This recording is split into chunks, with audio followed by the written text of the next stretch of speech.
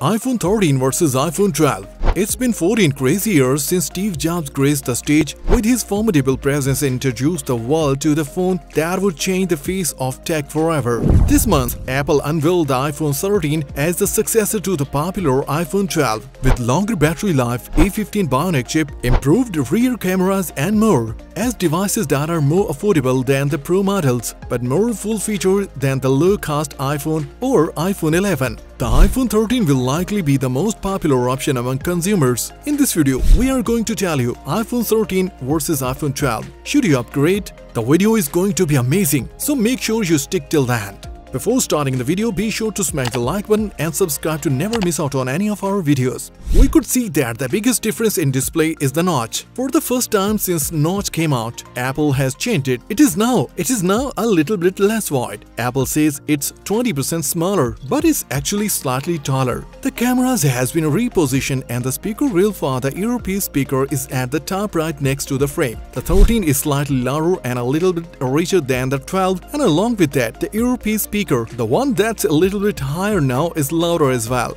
That's where a little bit of extra volume boost comes from. So it does sound a little bit more balanced left to right, which is great for watching movies, play games, things like that. And now, let's compare the display starting with the brightness. Apple boosted it from 625 nits up to 800, which is the same as the last year's iPhone 12 Pro. So definitely does help out, especially if you're outside in the bright sun. Other than that, they are exactly the same. We have the same contrast, the same brightness when you're watching HDR videos, viewing angles, color accuracy, everything else is identical. The new iPhone 13 has an A15 Bionic processor compared to the A14. But how much does that really matter? Well, they both have the same core counts, the clock speed is higher on the new iPhone 13 as far as they are identical. Both of them have 4GB of RAM, so it is actually able to use the efficiency cores more often. And there is one reason why the Apple 13 has a much better battery life as well. This year, Apple prioritized the Pro models. Those actually have 5 core graphics that are much much more powerful, probably about 50% more powerful than the iPhone 12s. And with the regular 13, they just gave a little bit of improvement, but it's still a 4-core. Now with this 12% improvement, we also got an improvement in power usage when you're gaming or doing other tasks that needs the graphics. So once again,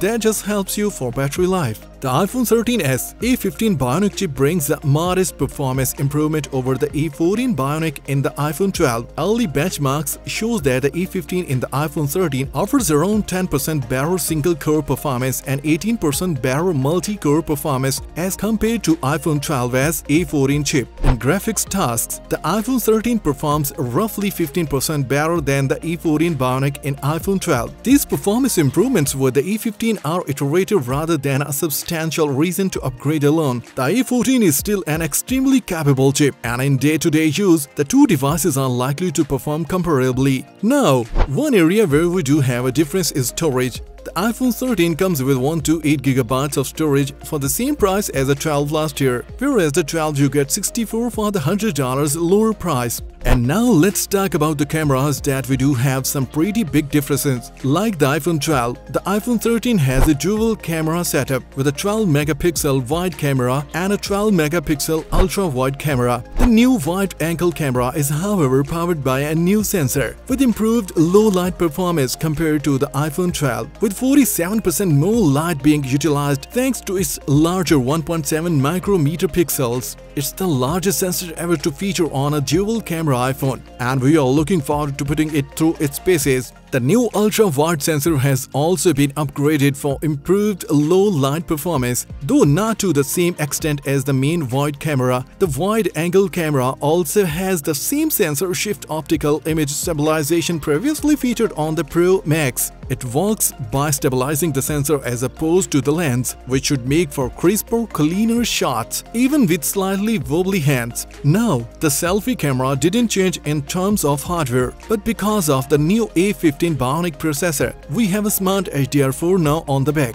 We have much bigger lenses and that is because the iPhone 13 takes the same best camera from the iPhone 12 Pro Max and puts in this body. So have larger sensors that have image stabilization, lets in more light and then the ultra-wide was also much improved compared to before. Now, Not only do you get better image quality, but in some of these images that don't look that different, the new iPhone 13 will take the photo much quicker in night mode because of the extra light. So instead of having to wait, say 2, maybe 3 seconds, it could do in 1 second and that's definitely convenient and it helps have a nice sharp image instead of sometimes having them turn out blurry. And along with that, we also have some differences for video. If you like high dynamic range video, you can actually shoot up to 4K 60 with Dolby Vision, which is great. And then we have the new cinematic mode, which allows you to get blur with your video. We can actually go the front facing camera and then you can also record cinematic video with the front facing camera. So that's something that is very cool and it's exclusive to the iPhone 13 line. One area of significant difference between the iPhone 12 and the iPhone 13 is battery life. The iPhone 13 features up to 19 hours of battery life during video playback, which is 2 hours more than the iPhone 12 as 17 hours. One streaming video, the iPhone 13s can deliver 15 hours of battery life instead of the iPhone 12 as 11 hours. The iPhone 13 can also stream audio for 10 hours longer than the iPhone 12. The iPhone 13 is therefore clearly the better device for users who need the maximum possible battery life from their iPhone compared to the iPhone 12. The iPhone 13 isn't a revolution and after 14 years of iPhones, it couldn't possibly be without something as drastic as a folding screen that is still it's a solid improvement across the board,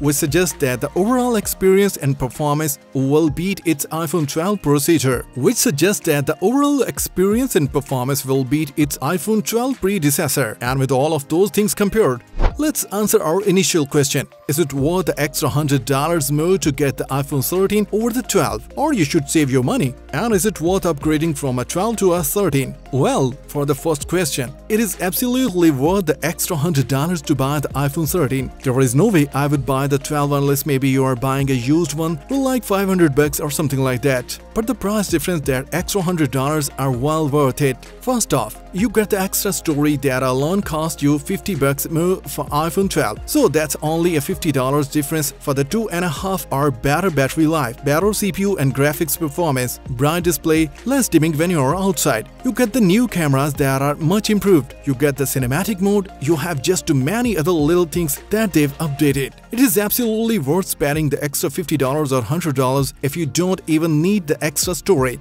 Now with that, it is worth upgrading from a 12 to 13. This is where I should say no, I would not to do that. If you already have a 12, you should wait for one extra year or if you do want to upgrade in that case, don't get iPhone 13, get spend a little bit more money and get the 13 Pro. This thing has a lot of improvements, much faster graphics, better performance overall, you get the ProMotion display and a lot more upgrades. This was all for today. Hope you liked the video. Let us know your opinion in the comment section below. Do not forget to subscribe to our YouTube channel. Hit the bell icon for more updates and notification. Stay safe and we'll be back soon with another video.